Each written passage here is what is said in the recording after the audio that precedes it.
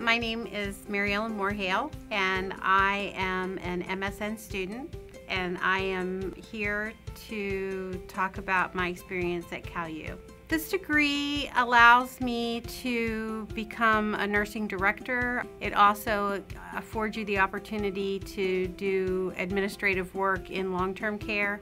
I could also be a VP of nursing with this degree. It just gives you more opportunities, particularly in the administrative arena.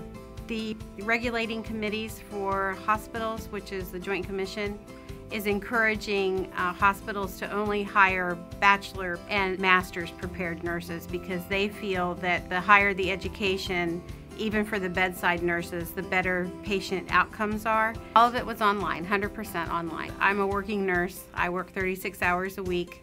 I have a family and the online program allowed me to flex my work schedule around and my academic schedule. I could work on it at 2 o'clock in the morning if that's when it was convenient for me, or I could work on it at 6 o'clock in the morning. The faculty was always available. Uh, we could contact them by email or we could contact them by phone. It gave us an opportunity to interact with the other students because we had a specific discussion board just for students to help each other.